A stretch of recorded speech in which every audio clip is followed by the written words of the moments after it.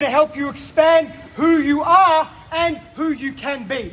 Yes. Because that's what we can create here. Now let's be real for a moment. There's going to be some bullshit here too.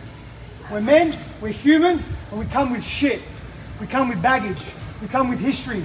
We come with pain. We come with trauma. But we also come with joy. We also come with dreams and vision. We can explore that here together as brothers without judgment, with compassion. We get to choose the kind of friendships that we want. Do we want friendships that are going to appease us, going to make us feel good about ourselves because we're too scared to let that person know that they can level up just a little more? Do we want friendships that are going to tell us when we could be doing better in our family life? Yes. We've got to think. We've got to feel the kind of friendships that we want. We've got to bring that yearning and that desire here. The physical movement, the exertion, the expression is one avenue of release. It's one avenue of bonding, but it only starts here. It doesn't finish here. It starts here, we have to take it on into our day. We have to be deliberate with the friendships that we want in our lives. If this was just a training circle, if this was just a fitness thing, we'd train, we'd get out, we'd have a laugh, we'd have a smoothie, we'd go. I think all of you get the idea that this is more than that. There's an invitation for you. And the invitation is to invite men to this group. Men that need this.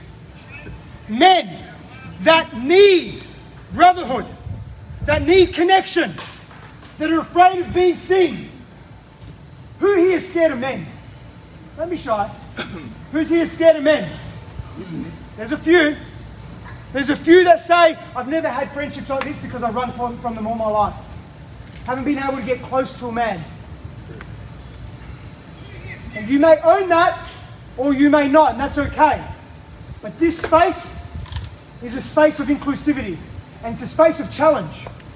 If you think you're going to get away with playing small, you're wrong. That's not what this place is about. So today, take one thing away. Be deliberate with the people you spend time with. Be deliberate with the people you let into your inner sanctum. Be deliberate with the things that you say to people, with how you let people in, with what you share, with how open you are, and how you care. That's today's message. Be deliberate with your friendships, and you may have to let some old ones go because they're not serving you.